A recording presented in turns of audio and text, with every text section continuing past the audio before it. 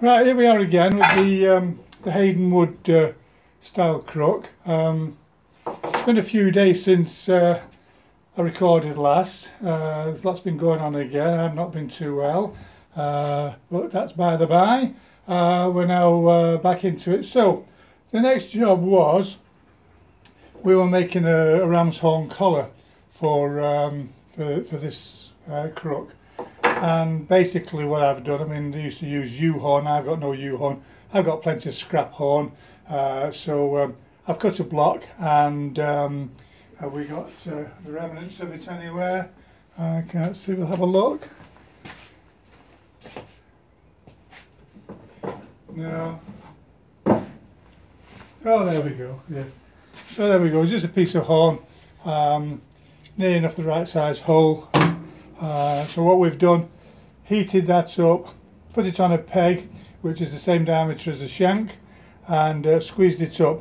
Um, so we've taken it down on the grinder, and uh, so that um, there's not too much um, home for the heat to uh, have to penetrate. And we've now closed it up. This bottom end was the widest, so we'll leave that. We've just dipped it in water to cool it off. Um, and you can see what we've done.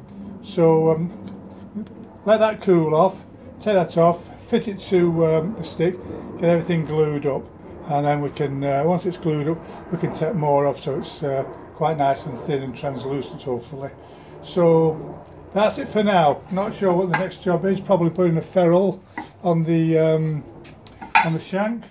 Uh, but basically, um, once it's painted up and we're happy with it, uh, we've got this fitted with the collar and the, uh, the shank we can glue up and start uh, varnishing.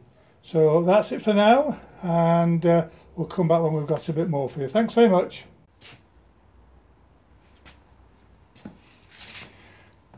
Right, just a little tip. We're talking about these horn collars.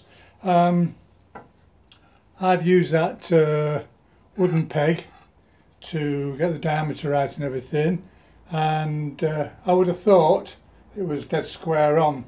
So I've cleaned the ends up thinking that's now going to be nice and square. But once you get that on your stick with the head and the shank going through uh, you often find that actually it don't look square on the stick. So the easiest thing to do is while this is while the collar is on the stick get yourself some tape of the sort of the um, the width that you want your collar. Run that round dismantle everything and you can use a tape as a guide just to touch up on the grinder uh, put that back on the stick should look pretty good. Don't forget to mark up the collar so that it goes back on the way it came off. There's a little tip. Back soon.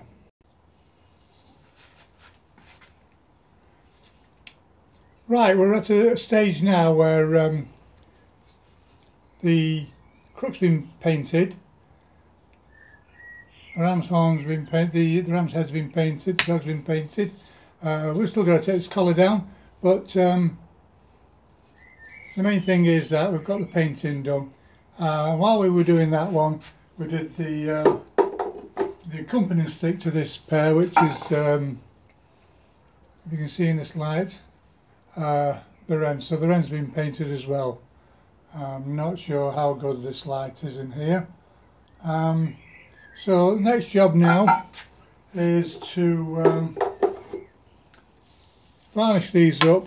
Uh, we need to do this collar here. Uh, varnish these up, varnish the shanks, and um, we're about done. So once that's all done, we'll be back and uh, we'll give you a final view of that. Thanks for watching. Bye bye.